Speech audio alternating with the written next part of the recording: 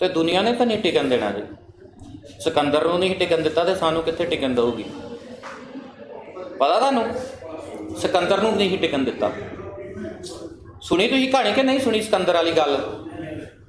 ਸੁਣਾ ਦਈਏ ਤੁਹਾਨੂੰ। ਸਿਕੰਦਰ ਦੇ ਵਿਦਿਆ ਗੁਰੂ ਨੇ ਉਹਨੂੰ ਕਿਹਾ, ਕਹਿੰਦਾ, ਸਿਕੰਦਰ, ਦੁਨੀਆ ਤੇ ਤੂੰ ਸਾਰੀ ਜਿੱਤ ਲਈ ਤਕਰੀਬਨ। ਪਰ ਤੈਨੂੰ ਅੱਜ ਇੱਕ ਚੀਜ਼ ਦੀ ਲੋੜ ਆ, ਤੂੰ ਬੜਾ ਭੁ- ਭਟਕਿਆ ਜਾ ਫਿਰਦਾ। ਕਹਿੰਦਾ ਕੀ ਗੁਰੂ ਜੀ ਕਹਿੰਦਾ ਤੈਨੂੰ ਅੰਮ੍ਰਿਤ ਚਾਹੀਦਾ। ਕਹਿੰਦਾ ਗੁਰੂ ਜੀ ਅੰਮ੍ਰਿਤ? ਅੰਮ੍ਰਿਤ ਹੁੰਦਾ? ਕਹਿੰਦਾ ਹਾਂ। ਕਹਿੰਦਾ ਕਿੱਥੇ ਮਿਲੂਗਾ ਗੁਰੂ ਜੀ ਸਤਿ ਸ਼੍ਰੀ ਅਕਾਲ। ਕਹਿੰਦਾ ਕਿੱਥੇ ਮਿਲੂਗਾ ਗੁਰੂ ਜੀ ਅੰਮ੍ਰਿਤ? ਉਹਦਾ ਗੁਰੂ ਕਹਿੰਦਾ ਫਲਾਣੀ ਫਲਾਣੀ ਜਗ੍ਹਾ ਵਾ ਫਲਾਣੀ ਫਲਾਣੀ ਥਾਂ ਵਾ। ਉੱਥੇ ਚੱਲ ਜਾ। ਉੱਥੇ ਇੱਕ ਛੱਪੜੀ ਆ। ਉਹ ਅੰਮ੍ਰਿਤ ਆ ਉਹ ਜਾ ਕੇ ਉਹਦਾ ਚੂਲਾ ਭਰ ਲਾ। ਕਹਿੰਦਾ ਠੀਕ ਹੈ ਜੋ ਗੁਰੂ ਨੇ ਕਿਹਾ ਸੀ ਤੁਰ ਪਿਆ, ਲੈ ਕੇ ਆਪਣੇ ਅਸਤਰ ਸ਼ਸਤਰ, ਆਪਣੇ ਨਾਲ ਆਪਣੀ ਸੇਨਾ ਲੈ ਕੇ ਤੁਰ ਪਿਆ, ਕਹਿੰਦਾ ਵੀ ਅੰਮ੍ਰਿਤ, ਆਪ ਵੀ ਪੀਣਾ ਵਾ ਤੇ ਸਾਰੀ ਸੇਨਾ ਨੂੰ ਵੀ ਛਕਾ ਦੇਣਾ। ਤੁਰ ਪਿਆ ਜਦੋਂ ਪਹੁੰਚਿਆ ਉੱਥੇ ਜਾ ਕੇ ਜਾ ਕੇ ਵੇਖਦਾ ਏ, ਵਾਕਈ ਉਹ ਜਗ੍ਹਾ, ਉੱਥੇ ਇੱਕ ਤਲਾਬ ਬਣਿਆ, ਉਹਦੇ ਵਿੱਚ ਬੜਾ ਸਾਫ਼ ਜਲ ਵੇਖ ਕੇ ਹੈਰਾਨ ਰਹਿ ਗਿਆ, ਕਹਿੰਦਾ ਗੁਰੂ ਜੀ ਵਾਕਈ ਜਾਨੀ ਜਾਨ ਹੈ, ਜਗ੍ਹਾ ਹੈਗੀ ਆ। ਉੱਤੇ ਇੱਕ ਦਰਖਤ ਸੀਗਾ ਤੇ ਦਰਖਤ ਦੇ ਉੱਤੇ ਕਾਂ ਬੈਠਾ, ਇੱਕ ਸੜਿਆ ਜਾ ਗਲਿਆ ਜਾ ਖੰਭ ਖੁੰਭ ਝੜੇ ਪਏ ਉਹਦੇ ਸਾਰੇ, ਛਿੱਲਿਆ ਪਿਆ ਸਾਰਾ। ਜਦੋਂ ਸਿਕੰਦਰ ਐਂ ਕਰਕੇ ਚੂਲਾ ਭਰਨ ਲੱਗਾ ਨਾ, ਤੇ ਕਾਂ ਬੋਲ ਪਿਆ। ਕਾਂ ਕਹਿੰਦਾ, ਓਏ ਸਿਕੰਦਰਾ! ਉਹਨੇ ਐ ਵੇਖਿਆ ਉੱਤੇ, ਕਹਿੰਦਾ, ਬੋਲਣ ਵਾਲਾ ਕਾਂ? ਸਿਕੰਦਰ ਕਹਿੰਦਾ, ਤੂੰ ਆਵਾਜ਼ ਮਾਰੀ ਮੈਨੂੰ? ਕਹਿੰਦਾ, ਤੂੰ ਸਿਕੰਦਰ ਹੀ ਆ ਨਾ? ਕਹਿੰਦਾ, ਹਾਂ। ਕਹਿੰਦਾ, ਇੱਥੇ ਕੀ ਕਰਨਾ ਆ ਕਹਿੰਦਾ, ਮੈਨੂੰ ਮੇਰੇ ਗੁਰੂ ਨੇ ਕਿਹਾ ਸੀ, ਇੱਥੇ ਅੰਮ੍ਰਿਤ ਆ, ਮੈਂ ਅੰਮ੍ਰਿਤ ਪੀਣਾ ਆ। ਕਹਿੰਦਾ, ਉਹ ਐਵੇਂ ਭਲੇਖੇ 'ਚ ਨਾ ਰਹਿ ਜੀ।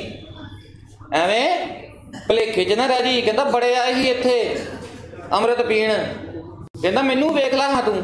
ਮੈਂ ਵੀ ਇੱਥੋਂ ਹੀ ਅੰਮ੍ਰਿਤ ਪੀਤਾ ਸੀ। ਕਹਿੰਦਾ, ਮੇਰੇ ਸਰੀਰ ਦੇ ਉੱਤੇ ਕੋਈ ਖੰਭ ਨਹੀਂ ਰਿਹਾ। ਮੇਰੇ ਅੰਦਰ ਖੂਨ ਦੀ ਜਗ੍ਹਾ ਪਾਕ ਭਰ ਗਈ ਹੈ। ਕਹਿੰਦਾ, ਭੱਜ ਇੱਥੋਂ।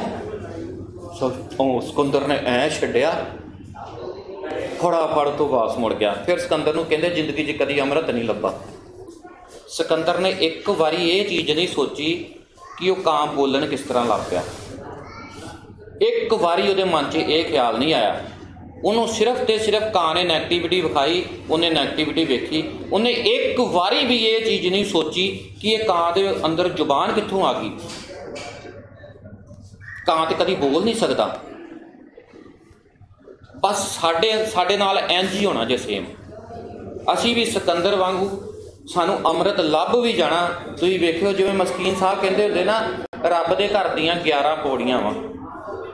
ਤੇ ਹਰ ਬੰਦਾ ਨੌਵੀਂ ਪੌੜੀ ਤੋਂ ਮੁੜ ਕੇ ਵਾਪਸ ਹੁੰਦਾ ਜਾਣਦੇ ਹੋ ਕਿਉਂ? ਕਿਉਂਕਿ ਅਗਲੀਆਂ ਪੌੜੀਆਂ ਦਾ ਉਹਨੂੰ ਪਤਾ ਨਹੀਂ ਹੁੰਦਾ ਕਿ ਕਿੰਨੀਆਂ ਪੌੜੀਆਂ ਵਾ। ਉਹ ਕਹਿੰਦਾ, ਯਾਰ, ਪਤਾ ਨਹੀਂ ਕਿੰਨੀਆਂ ਕਿ ਚੜਨੀਆਂ ਪੈਣੀਆਂ।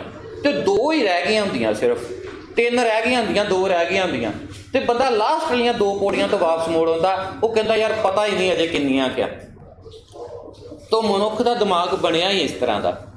ਸਿਕੰਦਰ ਵਾਲੀ ਸੋਚ ਰੱਖ ਕੇ ਕਿਤੇ ਫਸ ਨਾ ਜਾਇਓ, ਕਿਤੇ ਤੁਹਾਨੂੰ ਵੀ ਇਹੋ ਜਿਹੇ ਬਥੇਰੇ ਕਾਮ ਮਿਲ ਜਾਣੇ ਆ, ਮੈਨੂੰ ਵੀ ਮਿਲੇ ਸੀਗੇ, ਮੈਨੂੰ ਵੀ ਸੁੱਟਣ ਦੀ ਕੋਸ਼ਿਸ਼ ਕੀਤੀ, ਔਰ ਮੈਂ ਡਿੱਗਿਆ ਵੀ ਬੜੀ ਵਾਰੀ। ਪਰ ਮੈਂ ਆਪਣੀ ਜ਼ਿੰਦਗੀ ਦੇ ਵਿੱਚ ਇੱਕ ਚੀਜ਼ ਸੋਚ ਲਈ, ਕਿ ਮੈਂ ਕਿਹਾ, ਯਾਰ, ਮੈਨੂੰ ਵੱਡੀ ਗੱਲ ਪਤਾ ਕੀ ਸੀ? ਮੈਨੂੰ ਕਰਨਾ ਆ ਗਿਆ। ਜਦੋਂ ਤੁਹਾਨੂੰ ਕਰਨਾ ਆ ਜਾਂਦਾ ਨਾ ਫਿਰ ਤੁਸੀਂ ਹਿੰਮਤ ਨਹੀਂ ਕਦੀ ਹਾਰਦੇ। ਬੰਦੇ ਨੇ ਡਿੱਗਣਾ ਹੈ। ਡਿੱਗਣਾ ਹੈ ਬਾਰ-ਬਾਰ। ਸਥਿਤੀਆਂ ਆਉਣੀਆਂ ਸਿਚੁਏਸ਼ਨਾਂ ਬਣਨੀਆਂ। ਹਾਲਾਤ ਬਣਨੇ ਆ ਪਰ ਬੰਦਾ ਤੇ ਉਹੀ ਹੈ ਨਾ ਜਿਹੜਾ ਡਿੱਗ ਕੇ ਉੱਠ ਜੇ। ਮਰ ਖੜੀ ਗਏ ਆ ਪਰਮਾਤਮਾ ਨੇ ਹਲੇ ਸਾਹ ਤੇ ਚਲਾਏ ਹੈ ਨਾ। ਡਿੱਗੇ ਫਿਰ ਉੱਠੇ। ਪਰ ਬੰਦਾ ਉਹ ਜਿਹੜਾ ਡਿੱਗ ਕੇ ਸਿੱਖੇ। ਸਿੱਖੇ ਡਿੱਗ ਕੇ। ਪਰ ਮੈਂ ਤੁਹਾਨੂੰ ਇੱਕ ਗੱਲ ਦੱਸਾਂ ਜਿੰਨੀ ਆਪਾਂ ਉੱਪਰ ਜਾਈ ਜਾਵਾਂਗੇ ਨਾ, ਓਨੀ ਸੱਟ ਜ਼ਿਆਦਾ ਲੱਗਣੀ ਜੇ। ਉਨੀ ਉੱਪਰੋਂ ਡਿੱਗਣਾ ਜੇ ਆਪਾਂ। ਧਿਆਨ ਰੱਖਿਓ, ਜਿੰਨਾ ਜਿੰਨਾ ਉੱਪਰ ਜਾਈ ਜਾਓਗੇ, ਓਨਾ ਓਨਾ ਧਿਆਨ ਰੱਖੀ ਜਾਏ ਓਨਾ ਓਨਾ ਧਿਆਨ ਰੱਖੀ ਜਾਏ ਤੇ ਛੋਟੇ ਛੋਟੇ ਕੰਮ ਆਪਣੀ ਜ਼ਿੰਦਗੀ 'ਚ ਪਾ ਲਓ। ਜਿੰਨਾ ਚਿਰ ਤੱਕ ਤੁਸੀਂ ਆਪਣੀ ਜ਼ਿੰਦਗੀ 'ਚ ਉਹ ਕੰਮ ਨਾ ਨਾ ਕੀਤੇ, ਤੁਹਾਡੀ ਜ਼ਿੰਦਗੀ ਦੇ ਵਿੱਚ ਨਸ਼ਾ ਬਾਹਰ ਨਹੀਂ ਜੇ ਜਾਣਾ। ਨਸ਼ਾ ਬਾਹਰ ਨਹੀਂ ਜੇ ਜਾਣਾ, ਨਹੀਂ ਜੇ ਜਾਣਾ।